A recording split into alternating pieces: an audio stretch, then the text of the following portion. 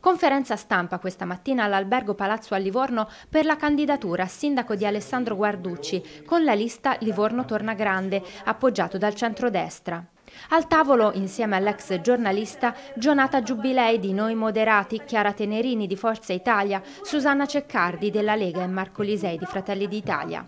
Guarducci sfiderà al momento l'attuale sindaco Luca Salvetti, ricandidato e appoggiato dal centro-sinistra, e Valentina Barale, appoggiata dal Movimento 5 Stelle, Potere al Popolo e Buongiorno Livorno.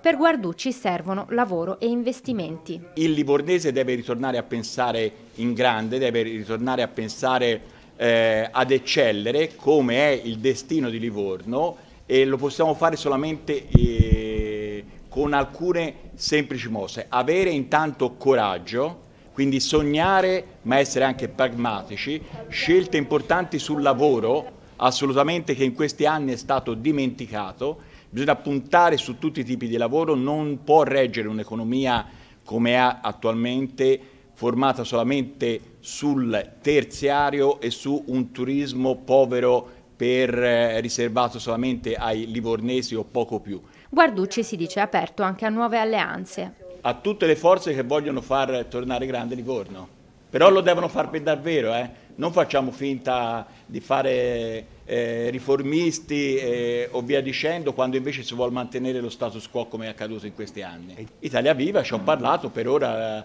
loro sostengono eh, l'attuale sindaco, eh, vedremo nei prossimi cinque mesi. Cinque mesi di campagna elettorale sono lunghi.